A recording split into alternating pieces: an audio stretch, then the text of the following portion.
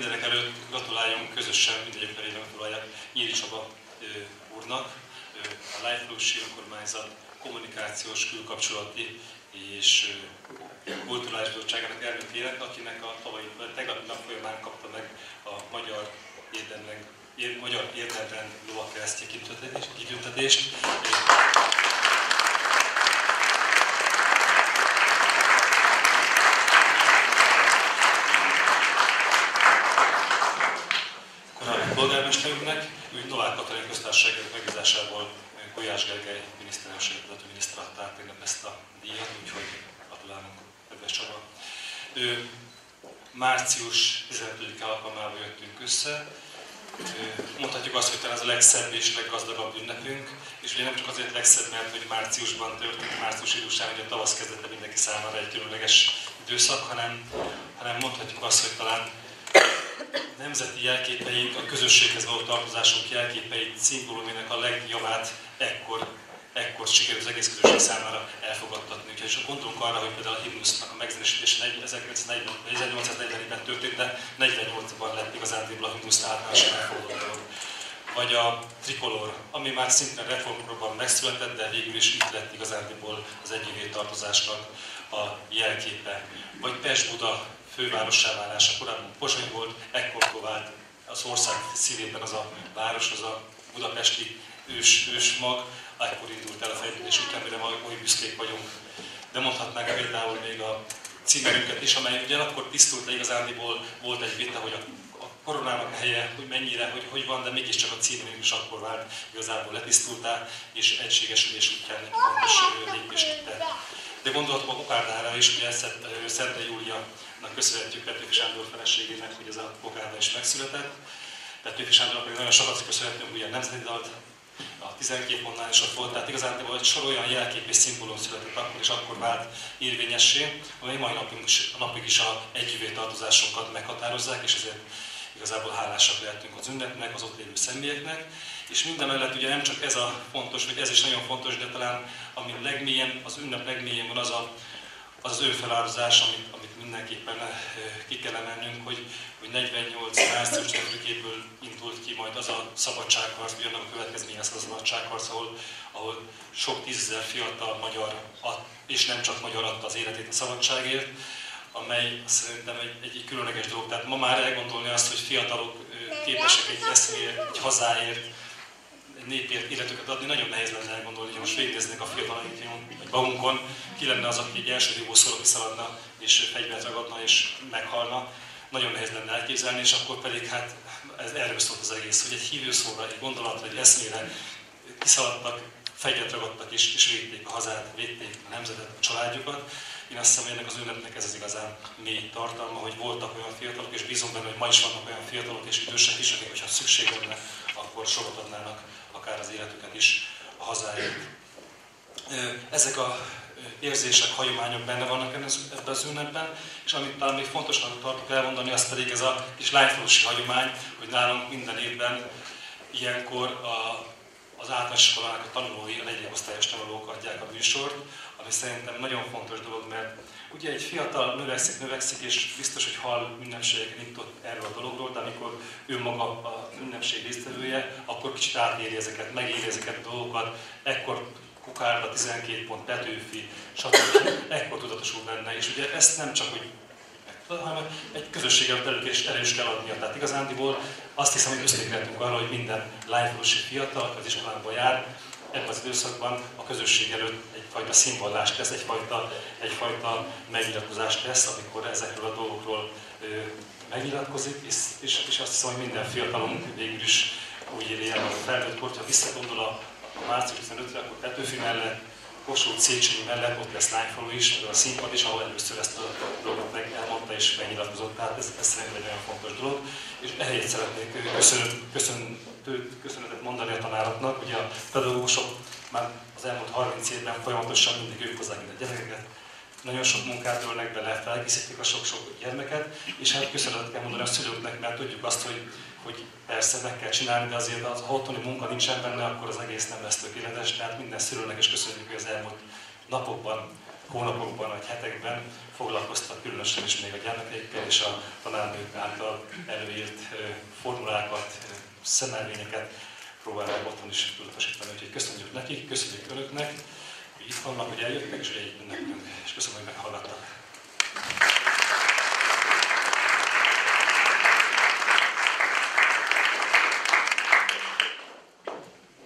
És most felkérem Gróf Péter régész urat, mondja el ünnepi beszédét.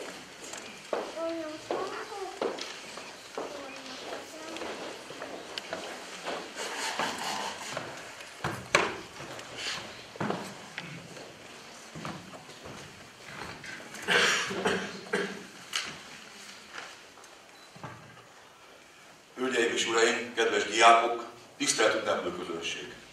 Tisztelettel köszöntöm Önöket az 1848-49-es Magyar Forradalmi Szabadságharc 175. és nagyköltőnk Petőfi Sándor, a márciusi ifjak egyik vezetője, születésének 200. 200. évfordulójára emlékezve. Bennünket magyarokat gyakran ér a vád, hogy túl sokat foglalkozunk szomorú múltunkkal, és elbukott forradalmainkat ünnepeljük.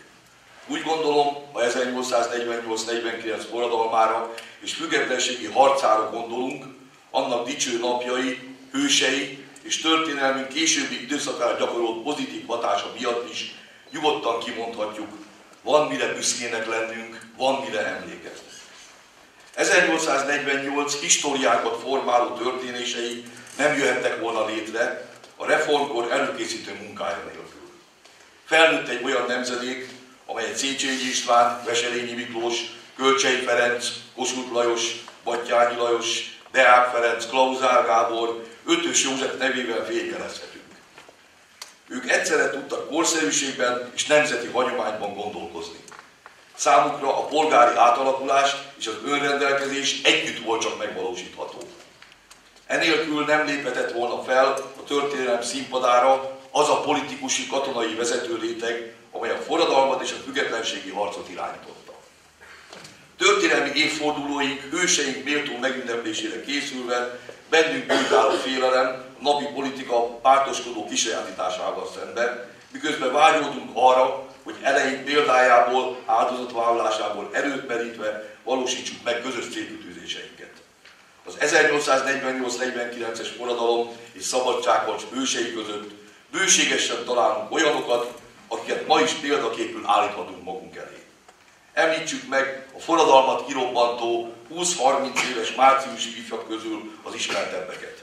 Ujovszki Gyula újságíró író, Degné Alajos író publicista, Egresi Béli zeneszerző író, Egresi Gábor zenész, Irigyi József újságíró műfordító, Jókai Mór, Korányi Frigyes belgógyász egyetemi tanár, Nyári Albert történész régész, Pálfi Albert szerkesztő újságíró politikus, Petőfi Sándor, Vajda János költő, Vaspári Pál történész, filozófus, Vidács János mezőgazdasági gépgyáros. Róluk a legjellemzőbb módon, az ő sajátos stílusában Katona Tamás, a kiváló történész, műfordító, politikus szavaival emlékezhetünk. Idézem. Csodálatosak voltak ezek a fiatalok, azért, mert ez volt az utolsó tisztességes forradalmár nemzedék. Ezekből nem lettek miniszterek és államtitkárok, ezek megmaradtak közkatonának. Aki a legtöbbre vittek közülük Petőfi Örvagy úr. Vasvári Pál szabadcsapat parancsnok ott hagyja fiatal életét a magyar és a világszabadság védelmében Erdély hegyei között. Vajda János egy elhagyott lábú honvéd lesz, Bujovszki Gyula egy kis hivatalnok, egyedül talán jókai csinált karriert, mert mint újságíró, ő egy olyan varázslatos dolgot ért el, hogy megmutatja cikkeivel a rendőrminisztert, idézett bezárva. De nézzük a politikusokat. Kiállíthatná, hogy a látszólag egyik napról a másikra összeáll Batyány kormány minisztereiben nem volt meg együtt a kiváló politikusi érzés és a szakértelem. Ki ismerte jobban Magyarország közlekedési gondjait, a fejlődés irányait, mint Széchenyi István e tárca felelőse. Az igazságügyminiszter Deák Ferenc megfelelezhetetlen jogi szakismerete a rekkor közismert volt, pedig élete nagy művét majd a kiegyezés jogi formában öntésekor alkotja meg. Az Európai Műveltségű Kultuszminiszter Ötvös József Deák harcostársaként az 1867-es Andrási kormány ugyanezen posztján bizonyította, hogy mindkét kormányban a legmegfelelőbb helyre került. Hadügyminiszternek egy tudós katonatiszt, a Magyar Tudományos Akadémia tagját Mészáros Lázár nevezték ki. Az első felelős magyar miniszterelnök Battyányi Lajos pedig igazi államférfiként irányította különböző alkatú vérmérsékletű, egymással gyakran politikai vitákba keveredő, kiváló tehetségű minisztereiket. Ha megnézzük a semmiből megteremtett honvédsereg tisztikarát, hasonló példákat hozhatunk. Fiatal, bátor, szakképzett katonák hadnagyból hetek, hónapok alatt őt seregvezérek lettek, és győztes csatákat vívtak. A magyar tábornoki kar átlag életkora 43 év volt, szemben a Habsburg katonai vezetők 60 évével. Ha az egyes személyeket nézzük, még imponálóbb a kép. Cec János vezérkari főnöke 27 évesen, Klapka György 29 évesen, Rolf Leiningen, Westerburg Károly és Görgei Artur 30 évesen, Gulyoliát 35 évesen, Petti György 35 évesen, Percel úr 38 évesen kapták meg tábornoki kinevezésüket. Hölgyeim és uraim! A Dunakanyar 1848-49-ben nem volt a fő katonai események színtere. A Budapestről északra a folyó balpartján vonultak a császári, magyar és orosz seregek, 1849 áprilisában és júliusában Vácnál, Vácnál dúltak a nagy csaták. Ettől függetlenül Pest megye is kivette részét a küzdelemből, a honvédség részére jelentős összegű külön adót és 6200 újoncot szavaztak meg, valamint 31 ezer nemzetőrt írtak össze. Itt Leányfalun 1848-49 kapcsán két jeles személyről kell megemlékezni. Az író, irodalomtörténész Gyulai Báról és a magyar hadtörténelem egyik legnagyobb hadvezéréről Görgely Artúrról. Nem feltétlenül azért, mert Gyulai sokat tartózkodott Leányfalun, és Görgei hosszú életének utolsó négy évtizedét Visegrádon töltötte, hanem azért, mert közeli barátságban voltak, és Gyulai Romhányi című elbeszélő költeményével is igyekezett Görgei az igazságtalanul rágasztott áruló vádoló felmenteni. Görgei Artúr az 1848-49-es önvédelmi harc fővezéré, hadügyminiszter, ősi, de szegény nemesi családból származott, és kényszerből ment katonának. Kiváló vegyész, egyetemi katedra várja, amikor a haza ügyéért újra katonaként szállt harcba. 1848. májusában százados, októberben ezredes, novemberben pedig már tábornoki rangban nevezik ki a Ferdunai hadsereg élére, amelyel 1848-49 kemény téli hónapjaiban súlyos csatákat vívva vonul végig a felvidéken, hogy 1849 tavaszán egy harcedzett sereggel csatlakozhasson a honvéd főerőkhöz. Az ő vezetésével a tavaszi hadjárat során a létszámában, tüzérségében kisebb honvédsereg négy hét alatt hat győztes csatát nyerve kiúzta az ország területének nagy részéről a császári és királyi hadsereget. A dicső haditett megkoronálásaként 1849. május 21-én beveszi Budavárát. 1849. július 15 és augusztus 10 között egy életveszélyes koponyasérüléssel, hozzávetőleg 30 ezer főnyi feldunai hadsereggel egy hónapra leköti az orosz fősereg közel 120 ezer emberét, akik ide-oda vonulva keresték Görgei csapatait. Első Miklós cár, aki szerette tologatni vadosztályait a térképen, ezt írt a Paskievicsnek, a magyarországi boroszhalak fővezérének idézem. Kedves atyai parancsnokom, biztos el fogod nekem magyarázni, miként lehetett, hogy te 10 versztára voltál Miskolchoz, Görgei pedig 15-re, és mégis ő volt ott előbb, és még jó meg is verte a többieket. Görgei Artúr hat önálló hadjáratot vezényelt, és ezek közül csak egyben nem tudta akaratát rákényszeríteni az ellenségre. Hét nagy csatát irányított, és csak egyben valót kudarcot. Nem hiányzott belőle a bátorság, a személyes példamutatás, ugyanakkor katonái életét sohasem kockáztatta feleslegesen. Egy ilyen katonai teljesítményre minden normális országban büszkék szoktak lenni, és nekünk azok. Hölgyeim és uraim! Görgei Artúr emelt fővel viselte az igaztalan vádakat, és ebben segítségére volt az őt tisztelő, főleg írókból, művészekből álló kör, melynek a vele legszorosabb baráti viszonyban álló tagjai Gyulai Pál és a költő, Miskolci költő Lévai József. Talán nem tartják ünnepfontásnak, ha a közöttük levő kapcsolat jellemzéseként egy humoros esetet idézek föl, vagy egy korai sajtó, korai sajtóban is megjelent, idézem. Együtt volt a három öreg, Görgei Artúr Visegrádi villájában. A házigazda és a két költő, Gyulai Pál és Lévai József. Görgei nagyon közel volt a 80-hoz. Gyulai és Lévai 70-esek. Lévai kezdte a panaszkodást az öregségre. Eddig mindig átaludtam az egész éjszakát, de az utóbbi időben bizony minden éjjel egyszer felébredek. Gyulai rádupláz. Én bizony már évek óta nem alszom jól, de nem törődöm vele, ha felébredek, meggyűjtöm az éjjeli szekrényen álló szár gyertyát, és fél éjszakán át olvasok gyertyafénynél. Mit szóljak én, mondja a generális. Tavaly óta már nem tudok fejest ugrani Dunába. Befejezésül engedjék meg, hogy az 1848-49-es forradalmi szabadsághoz mindenféle elmondott megemlékezésemet az egyik legnagyobb magyar író, a Leányfaluhoz számos szállal kötődő Móricz Zsigmond a Görgei Artúról írt soraival zárva. Móriczot erősen foglalkoztatta Görgei személye, nagyobb művet szándékozott írni róla, most a Görgeivel való személyes találkozásokat is megörökítő tanulmányának záró sorra idézett. Görgei nagy ember volt, szakember, de a maga nemében a legnagyobbak közül való. Áruló? Soha. Egyetlen gondolatában sem volt. Kötelességét híven teljesítette, és az a büszke öntudat élhetett benne rendületlenül, hogy a magyar karnak, a magyar vitézségnek ő volt az utolsó legendás hőse. Tisztelet adassék a nagy katonának, akinek nem adatott meg, hogy örömét érezhesse hősiességének. Köszönöm a figyelmet.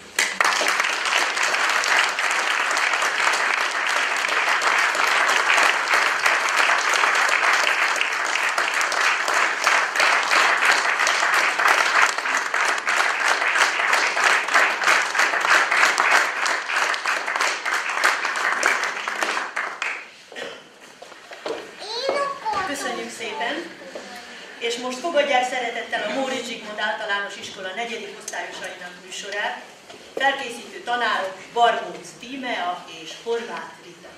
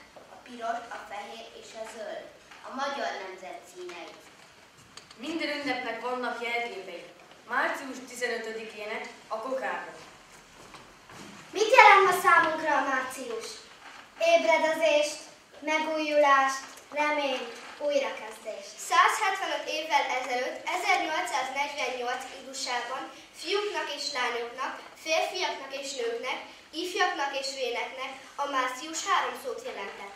Szabadság, egyenlőség, testvériség.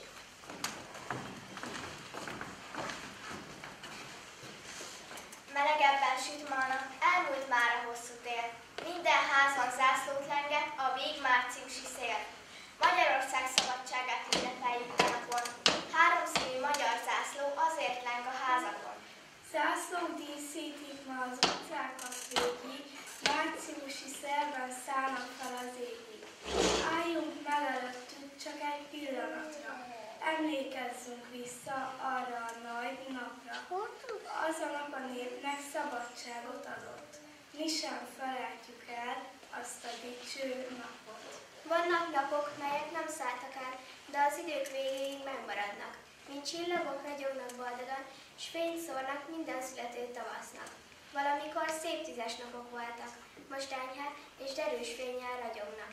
Ilyen nap volt az, melynek, fordul, melynek fordulója ibajáit ma a szívünkbe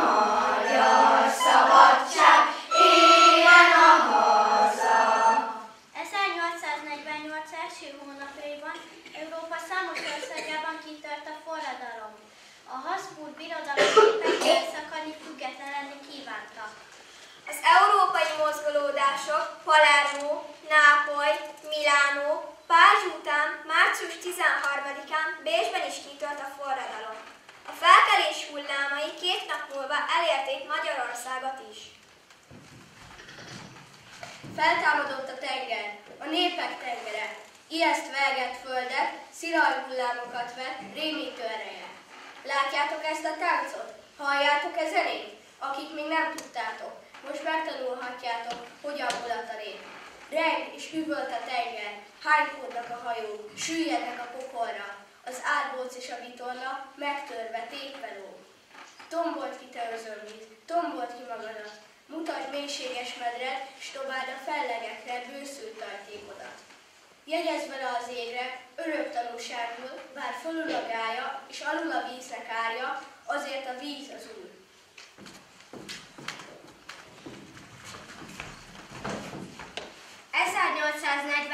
volt, szabadságra vágyott a nép. A nemzetben tetvágtom volt, küzdöttek a szabad honért. Bizakodott dolgoztak, hitték, vártak, harcoltak, hogy tőlük tellett, népükért és országukért, melyben éltek, sűn szerettek. Most ízzászok neked a szél, de óhajunk még a régi.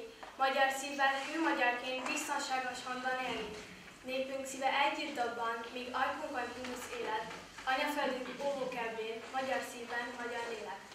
Kemény szél fúj, lángra kap a szikra, vigyájtokra. Hát, ha mire a nap lehanyatlik, szórja.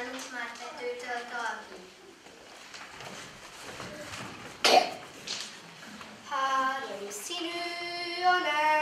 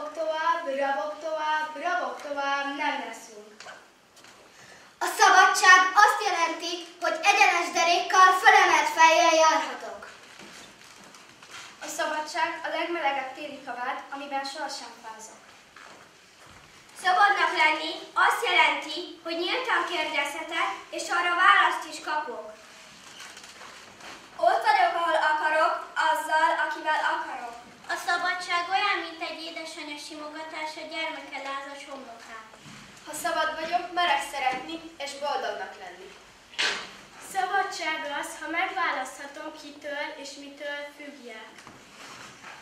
A szabadság hűvös fuvallat a nyári forróságban. A szabadság azt jelenti, hogy bátran nézhetek egy másik ember szemébe. Szabadnak lenni, elfogadni és megszeretni magamat és a sorsomat. Szabadnak lenni annyit tesz, hogy nem kell szégyenkeznem az álmaim miatt szabadság mosolygás egy vadidegen arcra. A szabadság azt jelenti, hogy bátran sírhatok vagy nevethetek. A szabadság olyan, mint egy hadvirágokból fognak. A szabadság egy nyugodt, mély lélegzetvétel.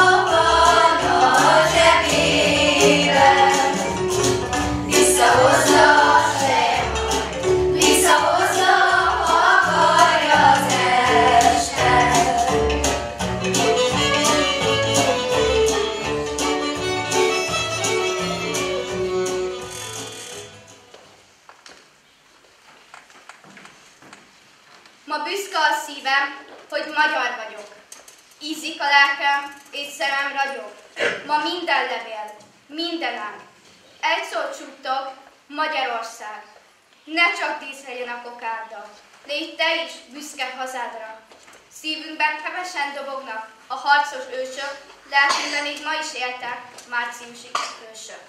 Magyarnak lenni büszke gyönyörűség, magyarnak lenni nagy, szent akarat, mely itt reszked a Kárpátok alatt. Ha küzdködő, ha szenvedő, ha sírva, viselni sorsunk, ahogy megvan írva. Lelkünkbe szívva, magyar földünk lelkét, vérünkbe oltva, ősök honszerelmét. Feltön borulni minden magyar rögre, s hozzátapadni örökön örökre. A forradalom napja ünnep számunkra. Őrizzük és tiszteljük azok emlékét, akik mindent akartak, akiknek életüknél fontosabb volt a haza szabadsága.